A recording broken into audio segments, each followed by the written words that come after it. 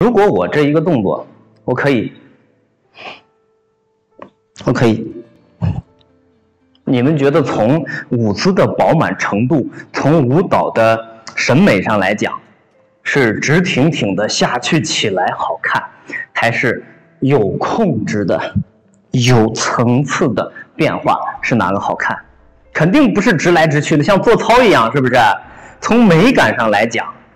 我们一定是有层次、有变化。舞蹈好看在哪儿呢？同学们，你任何一个动作想要好看，它不都来自于身体一动，能把这种舞姿流动的、变化的、连绵的传递出去，而不是说我一抬手是个直的啊，一举起来是个直的，不是美在这儿的呀。那你是做操啊，是不是？